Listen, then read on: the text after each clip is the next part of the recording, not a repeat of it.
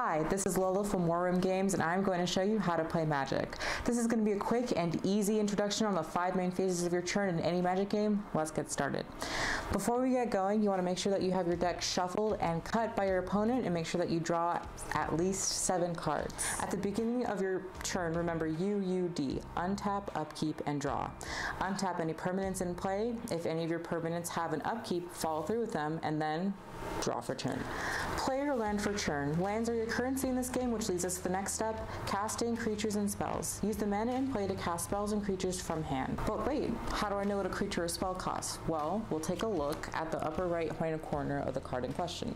The symbol with a number on it means you can use any mana, no matter the color.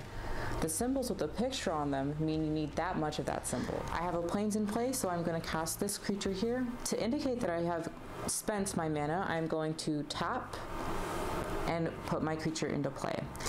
Creatures that just entering the battlefield have a condition called summoning sickness. It means that they can only sit around, they can block, but they can't attack and they can't use any of their abilities.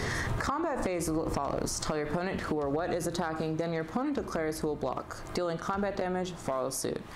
Then we move on to our second main phase. We repeat everything from the first main phase if possible. If you haven't played a land for turn, this would be the time to do so.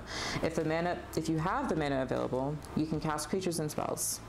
Lastly, our end step. All creatures who are damaged during your turn heal, and then you pass the turn. And that's how you play Magic. This is Lola with War Room Games, and I'll see you guys next time for card types.